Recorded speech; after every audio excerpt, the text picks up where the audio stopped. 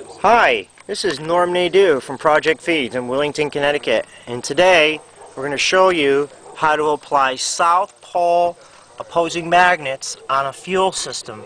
This can be done at home to an oil furnace before the oil goes into the burner. Now basically, all hydrocarbon fuels have a negative valence. Oxygen has a negative valence.